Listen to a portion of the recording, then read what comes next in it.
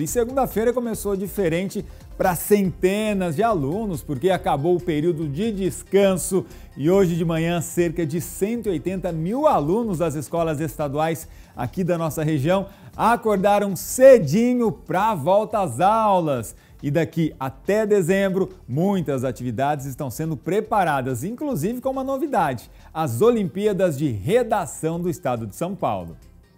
Depois de quase 20 dias de férias, os ônibus escolares voltaram a circular pelas ruas. Nessa escola em Araçatuba, 1.400 estudantes voltaram às aulas nesta manhã. E o sentimento é de que deu para curtir bastante o período de descanso. É, deu para descansar, ficar mais em casa, assim, aproveitar a família, né? Fiquei bastante com a família, essas coisas aí. Deu para descansar bastante também? Ah, deu, deu. E agora voltou, tem que acordar mais cedo. Como é que tá o sentimento? Tá difícil, mas eu tô feliz por voltar na escola, né, estudar e ver meus amigos.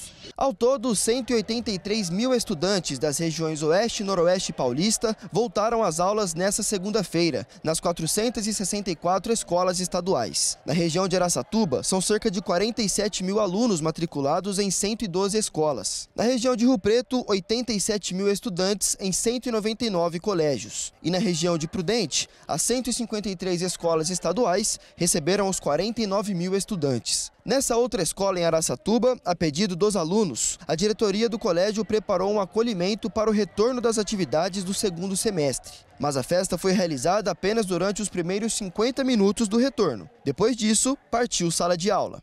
As aulas acabaram de voltar, mas já contam com novidades para quem quer retornar com o pé direito a Secretaria de Educação do Estado de São Paulo preparou uma programação cheia de novidades para os estudantes nesse segundo semestre.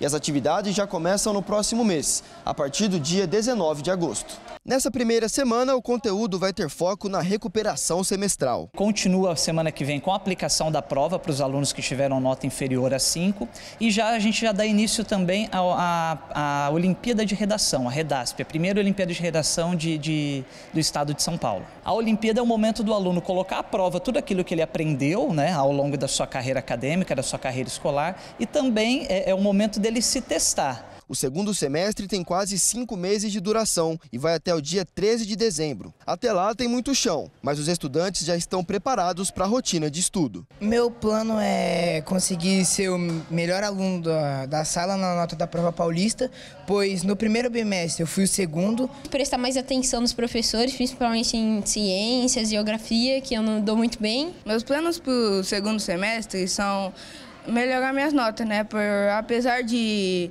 atualmente ser o segundo melhor da sala, eu ainda assim quero aumentar minhas notas, porque independente do que eu quero ser, as notas ajudam bastante nisso. Depois de quase 20 dias de férias, os ônibus. É isso aí, tá vendo? O pessoal tá ali empenhado, dedicado nos estudos, todo mundo querendo melhorar ainda mais as notas, mas o importante é isso, né? As aulas voltaram hoje, todo mundo naquela empolgação para rever os colegas, os amigos e daqui até dezembro tem muita coisa para que eles possam aprender.